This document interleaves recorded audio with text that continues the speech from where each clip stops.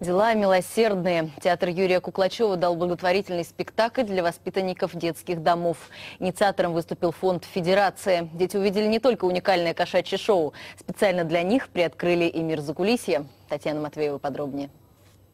Памятник коту Казанскому, вот так он выглядит. Внизу написано «Кот Казанский, ум астраханский, характер сибирский».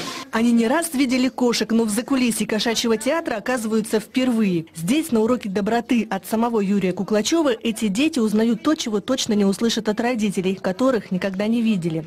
Все пальчики вместе сжали. Посмотрите, что это такое.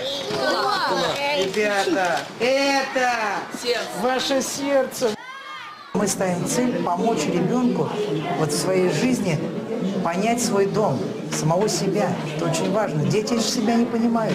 Такую возможность ребятам из детского дома подарил благотворительный фонд. Театр кошек – только начало проекта. В планах цирк, зоопарк и шанс оказаться в гримерке любимых героев мюзикла.